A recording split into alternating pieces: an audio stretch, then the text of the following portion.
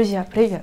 Это видео э, я хочу, чтобы посмотрело максимальное количество человек. Потому что ситуация, о которой мы с вами будем разговаривать, э, кажется такой отдаленной от нас, но на самом-то деле это может случиться с каждым человеком. Друзья, на канале «Как снимать видео» вышло интервью со мной, где я ответила на самые такие а, часто задаваемые или даже интересные вопросы касаемо Ютуба. Вот. Также есть там информация о заработке. Приходите по ссылке в описании, либо сейчас кликайте на аннотацию. Знаете, если вы сталкивались с таким понятием, как сталкинг, вы, наверное, думаете, что это, ну, типа там что-то в интернете искать, э, что называется нет-сталкинг. А на самом деле вот в жизни есть такое устойчивое понятие сталкинг, это, э, грубо говоря, слежка. Я это говорю грубо говоря, потому что тут есть э, такие различные аспекты, то есть это не значит, что какой-то человек вам будет э, за вами по пятам ходить, нет. Это может отображаться в разных совершенно условиях и форматах. Знаете, от нежелательных людей все-таки лучше, так сказать, иметь защиту. Средства защиты вы можете, например, а, приобрести в Телеграме, но зачастую это что-то незаконное. Поэтому я вам советую посетить телеграм-канал Dark AliExpress, темная сторона Алиэкспресса. А, помните, я рассказывала вам о USB-киллерах, GPS-трекерах и всяких таких штуках. На канале Dark AliExpress вы сможете найти ссылки на реальные товары. Также там опубликованы средства самообороны. Для некоторых стран это будет актуально. По ссылке в описании вы сможете перейти на канал Dark AliExpress и посмотреть то, что вас интересует. Давайте начнем сразу с того, что я очень удивилась, что э, девушки пишут мне о проблемах именно связанные с тем, что их преследует. Вот недавно был буквально такой случай. А, мне писали девушку а, преследовал человек, она не знала, кто это, ну, в итоге это оказался а, ее знакомый. Вот. Но суть в том, что он ее пугал сообщениями в Телеграме, он приходил к ней под окна, светил ножом, то есть, ну, не самое приятное, да. Вы понимаете, что полиция тут может быть неэффективна, поскольку нет убийства, нет дела. И знаете, я хочу сделать серию роликов, где я расскажу вот такие а, аспекты, связанные со своей же безопасностью, а, как важно вообще доверять интуиции, но это будет потом. А, вот. И я вам хочу посеять такую мысль, что большинство людей неадекватные. Но вы послушаете истории, которые я вам рассказываю, и придете сами к выводу, что а, надо бояться именно людей, а не чего-то там еще. Я очень надеюсь, что вас никто в своей жизни не атаковал звонками. Просто знайте, что когда неизвестный человек звонит вам, а, это значит, что он получает удовольствие от того, что вас достает и как-то посеивает в вас страх. Я не, не могу говорить за всех людей, потому что а, ну, некоторые просто неадекватными могут быть. Но в основном тенденция такая, что человек испытывает такое удовольствие, когда он чувствует, что жертва запугана и в ней есть какой-то страх. Вот, и ему от этого хорошо. Это, знаете, можно сравнить с э, той же мелкой шалостью, когда вы звоните в звонок двери, э, убегаете, а вот человек как бы он не понимает, что происходит, и он открывает дверь, ему ну, непонятно, никого нету. Вот. И нам очень весело становится от этого. Вот э, примерно такая ситуация происходит. И запомните, если вас атакуют звонками, то это, естественно, способ привлечь к себе внимание. Вообще, как может проявляться сталкинг э, именно вот в этом понятии? Не то, чтобы вам просто там человек звонит, не может до вас дозвониться или напугать хочет. Сталкинг прежде всего проявляется в излишнем внимании к вам. Та же история с девушкой, которую человек буквально преследовал, приходил к ней домой и фоткал вот нож около ее дома. Вот. Это может проявляться в навязчивых сообщениях, прям вот потоком. Вам пишут, хотят с вами пообщаться. Это может проявляться в чрезвычайной активности типа комплиментов. Чаще всего сталкеры это мужчины, которые э, преследуют женщин. Ну, вот так уж получилось, и это на самом деле очень неприятный момент – ну, было бы странно, когда женщина преследовала бы мужчину. Вот. И знаете, я вам такую вещь скажу, что многие сталкеры, а, у них плохо с логикой. То есть а, вы говорите на совершенно разных языках. То есть у вас не получается адекватного разговора, вам не получается мысль свою донести до человека, а, потому что человек совершенно по-другому мыслит. Вы можете сказать, что я не хочу сейчас отношений, а он поймет, что как бы нужно э, выдержать какое-то время, чтобы этот человек захотел, чтобы эта девушка захотела отношений с ним. И еще чем а, ближе, теплее были ваши отношения, там, дружеские, любовные, неважно, с сталкером, тем сложнее становится ситуация. Потому что буквально, если человек вас не знает, то как-то тут можно еще что-то решить, чтобы он от вас отстал. А если привязанность такая сильная, вы там дружили какое-то время или там встречались несколько лет, то, сами понимаете, человеку намного сложнее вас отпустить. Знаете, многие девушки очень бережно относятся к а, людям, с которыми они общаются, да, к бывшим мужчинам или бывшим друзьям, и стараются человеку именно объяснить, что я с тобой не хочу общаться, давай вот прекратим это все. Но это совершенно неправильная ситуация, вы не должны так делать. Если человек настаивает на общении, он пишет вам каждый день, звонит, вам не следует вообще ему отвечать.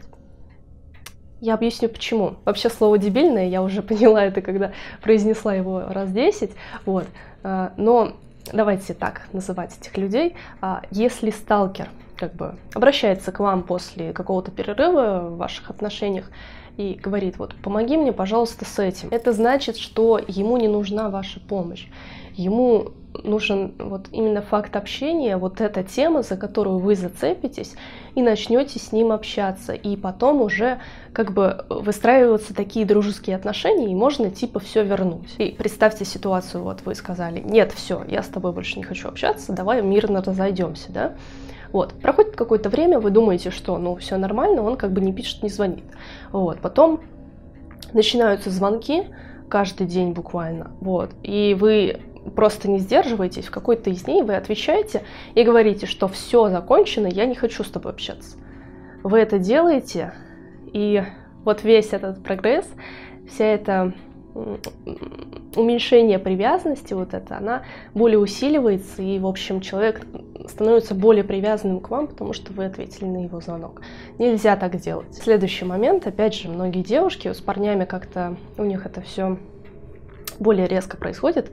В общем, когда девушки хотят сообщить своему молодому человеку или вообще другу, что вот давай мы с тобой разойдемся, что-то вот мне не нравится в наших отношениях, да? И вы говорите неуверенно, вы очень мягко стараетесь ему это сказать, чтобы он не обиделся. И, например, вот когда он спрашивает, а возможно ли в дальнейшем какие-то отношения, может у нас наладится все вы говорите, может быть, ну, ну, типа, может быть, подумаю. Хотя вы сами подразумевали, что, ну, нет, все-таки нет, просто я вот так смягчила свое нет.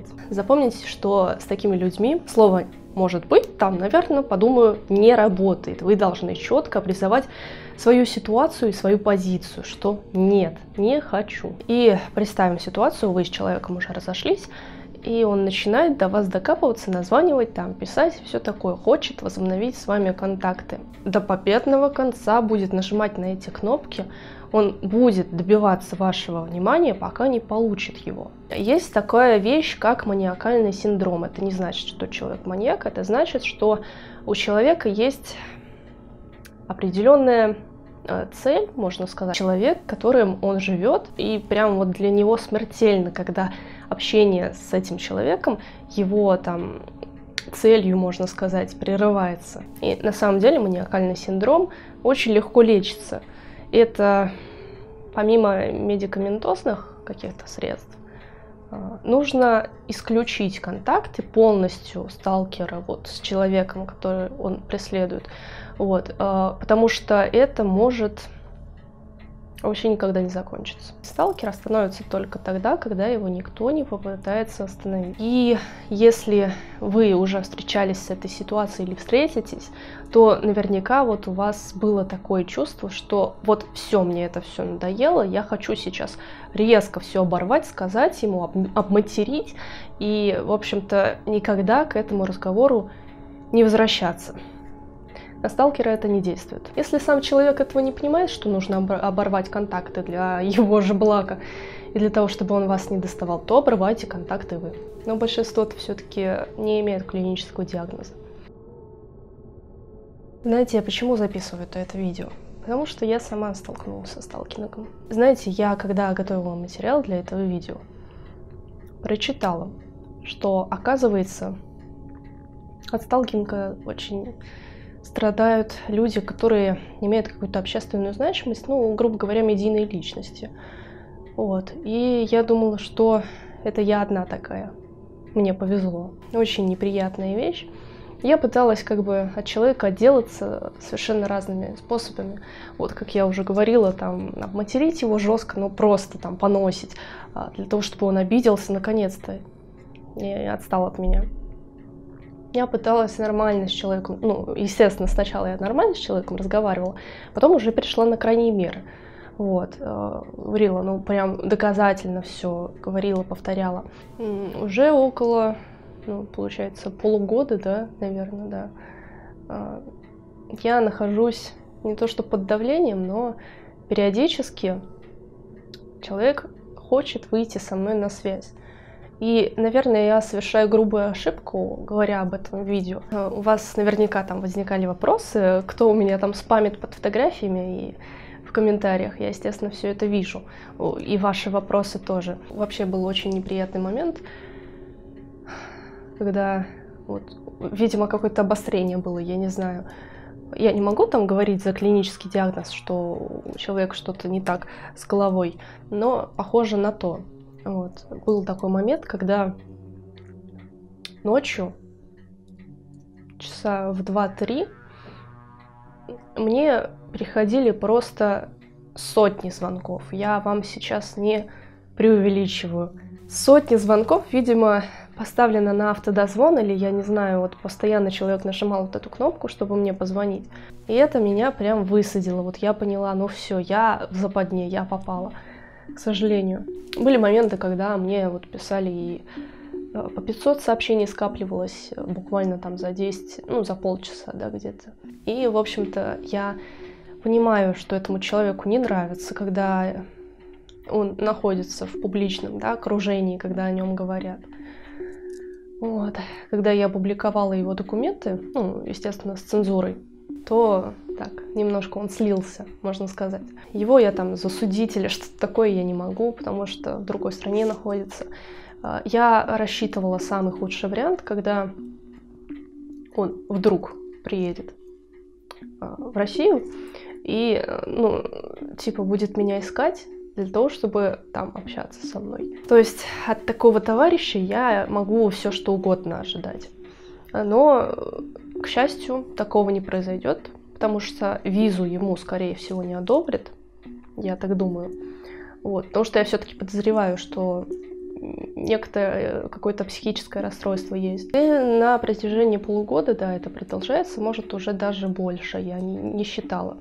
Вот. Э, моей ошибкой было то, что я сначала не прекратила это общение, вот по своей какой-то душевной доброте, я тогда еще, вот у меня не было такого понимания, что со многими людьми не стоит общаться, потому что, ну, если они показались какими-то странными. Поэтому я вас хочу предостеречь и сказать вообще, что если вам человек сразу не понравился, вот какой-то он странный, то вы хорошенько подумайте, а стоит ли с ним общаться в дальнейшем.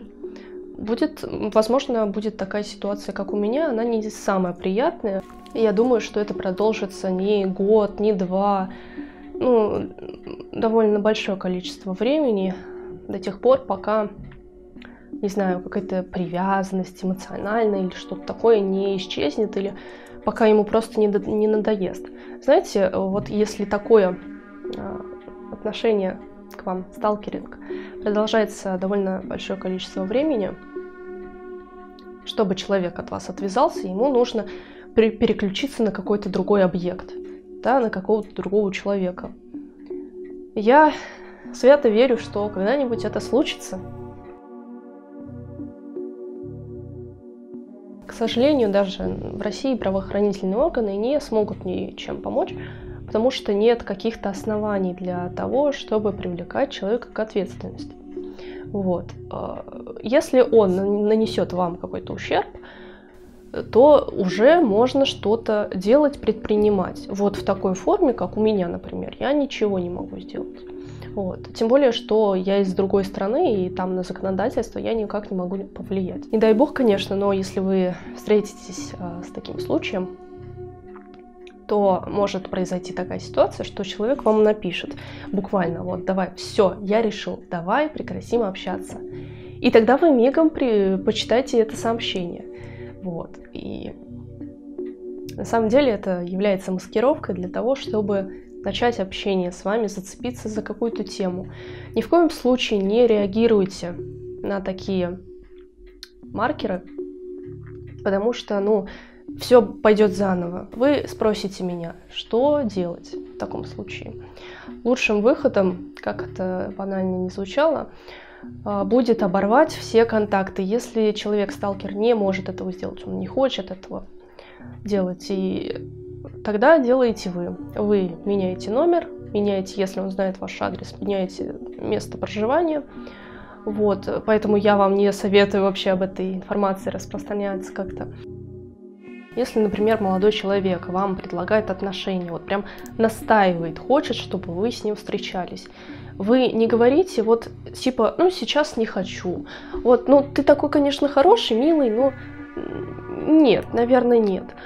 Вот чтобы этого, наверное, и подумаю, не знаю, этого не было. Вы говорите четко и нет. И на самом деле мальчикам в раннем возрасте нужно привить, что отказ, слово «нет» означает «нет», а не возможность там что-то исправить.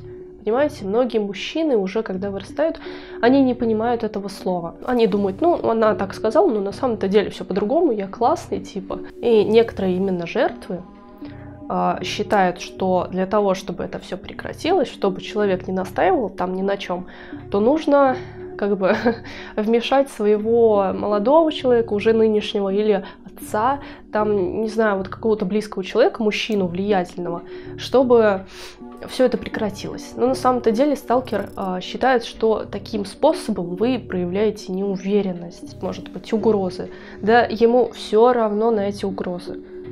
Понимаете, все равно. Единственный выход – это оборвать все контакты. Если вы с человеком говорите на разных совершенно языках, у вас э, нет понимания друг друга. Э, вы говорите одно, он воспринимает это как другое и интерпретирует по-своему. Вам необходимо оборвать все контакты с ним, абсолютно. И еще вот такой совет людям, которые, может быть, меня смотрят и имеют какую-то медийную значимость, а, отвечайте на письма или сообщения своих подписчиков, зрителей не слишком лично. Понимаете? Если вы будете там, ну, прям очень тепло отвечать, ну, к сожалению, это так.